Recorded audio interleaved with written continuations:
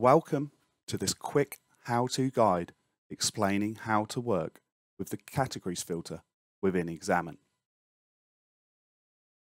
The categories filter is a powerful tool that is built into the heart of XAMN to help you quickly identify artifacts of a specific type that may be relevant to your investigation. Modern day smartphones contain vast quantities of digital data and it is all too easy to be overwhelmed when viewing this dataset in its entirety. By working smart with the categories filter, you can quickly target relevant data and keep your investigation on track.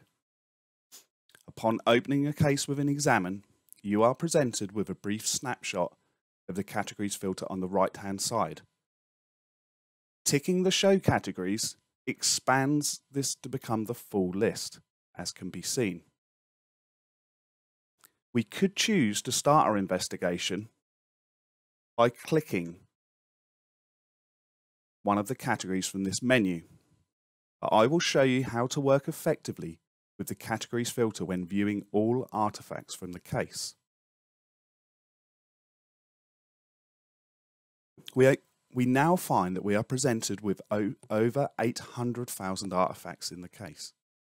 Being able to target and just review key evidence is key to any investigation success. Let's take, for example, we are running an investigation that involves drug dealing. Chat and location data is going to be the best place to start. This will allow us to discover any evidence of arranging deals, or if any available evidence or intelligence as to locations linked to this device. Now filtering on this key data is simple, thanks to the power of the categories filter. I can use control click to choose the relevant categories that I wish to filter on.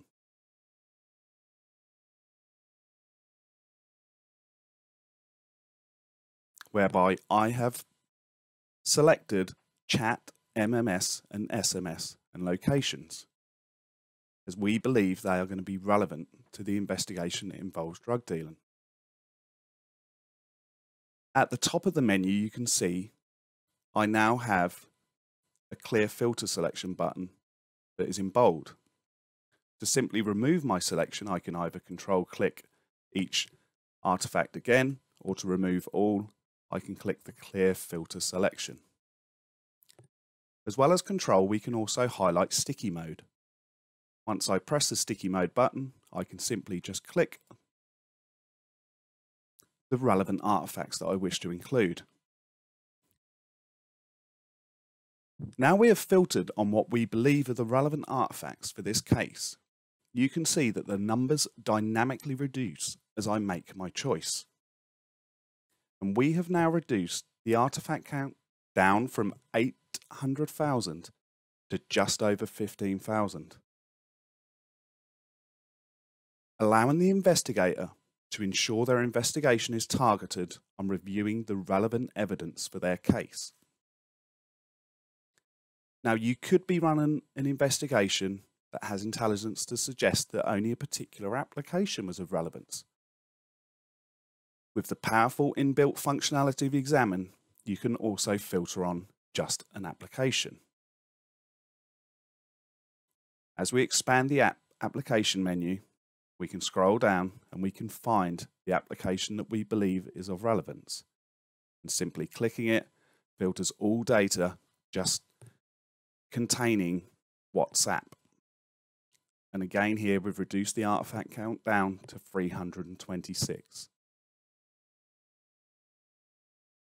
Once you have selected the relevant categories for your investigation, you could save this as a quick view. Now, the next time you run a similar investigation, this quick view would be available to you from the main menu within XAMN. For example, if we went back to our previous suggestion of SMS, MMS, chat, and locations as being of relevance, I can quickly go to the quick views menu and I can save this.